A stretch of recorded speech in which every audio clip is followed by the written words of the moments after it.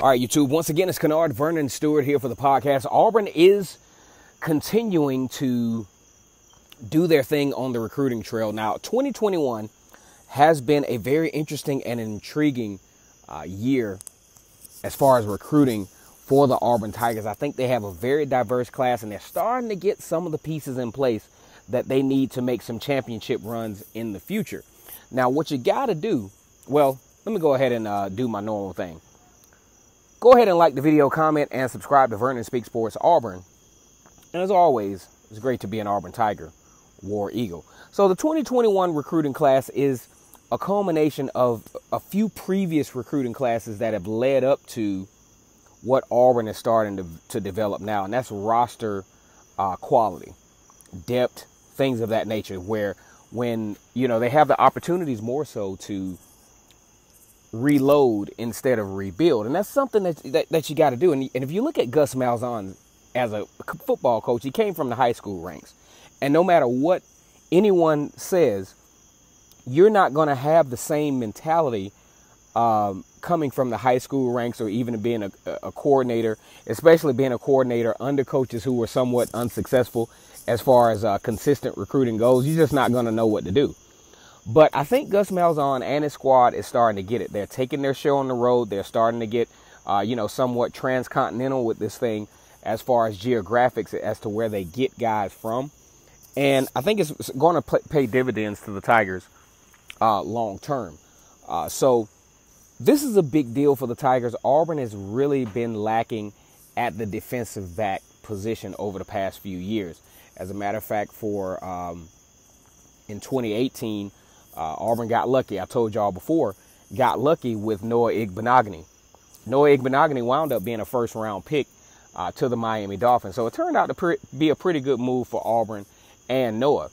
Now, if you look at it this particular season, Auburn is kind of shorthanded at the, the secondary position as well, having to depend on some guys maybe converting over from offense to defense. And those are things, if you talk about winning championships, a lot of fans on this particular channel, Auburn fans feel like Auburn should uh, compete for championships every year. Now, I casually disagree based on some of Auburn's recruiting pr- practices up until now, but I think Auburn is trying to fix this long term. You're not going to win a national championship, or at least your odds of winning the national championship or even making it to the college football playoff is not good if you're converting offensive players over to defense to staff, especially a very pivotal position in Power Five, the cornerback position.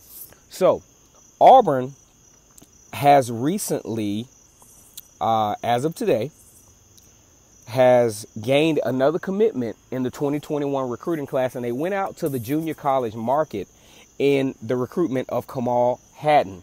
Why am I excited about this? I actually looked at a little film on Kamal Hadden, and one of the things that stands out to me is that Kamal is very opportunistic. Now, here's what I mean by opportunistic. He's looking for a way to get the football back into the offensive offense's hands. He's always looking to strip the ball. He's always looking to find ways to put, himself in position to intercept the ball. He does not let play. He doesn't waste plays. He, he cre- he's one of those guys that likes to create opportunities uh, for the offense to get the football back. And that's something that Auburn definitely needs. And that's one of those great equalizers. Let's say you're in a game against, you know, you talk about Auburn versus LSU. And you look at the interception by Roger McCreary uh, in the in LSU's end zone. Those are the types of plays that keeps you in the football game and gives you an opportunity to win against a team that otherwise probably should have beat you.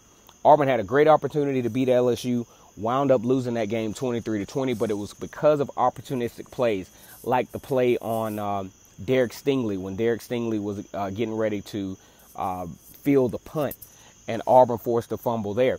When I talked about the LSU game before, I said that LSU, I mean, Auburn absolutely had to create opportunities with turnovers. They did everything that I predicted that they needed to do to win that game, wound up playing LSU closer than anybody that whole season, losing that game 23 to 20. LSU, the eventual national champions uh, Joe Burrow, eventual Heisman Trophy winner. I think this is a big deal for Auburn. It's starting to solidify the depth in the secondary. Uh, one thing that a lot of folks may be wondering well, why did this recruit take Auburn from the number 16 t- ranked team recruiting wise in the nation, all the way to, well down to 18. Well, you got to look at this. He was only an 85% recruit. Okay, that's going to bring you down a little bit, and then you got to factor in other teams who are starting to acquire players as well. So that's where that two, uh, that two two ranking loss factored in for the Tigers. All right, guys, this is my time here. We're going to talk some more. Um, there's been a lot of press coming across about the schedules. I think there's some big losers in this schedule, i.e., Arkansas. I don't think Arkansas will win a single game this particular year. We're going to talk about that a little bit later on. Once again, it's Kennard Vernon Stewart here for the podcast. We're talking Auburn football. Like the video, comment, and subscribe. And as always, it's great to be an Auburn Tiger, War Eagle.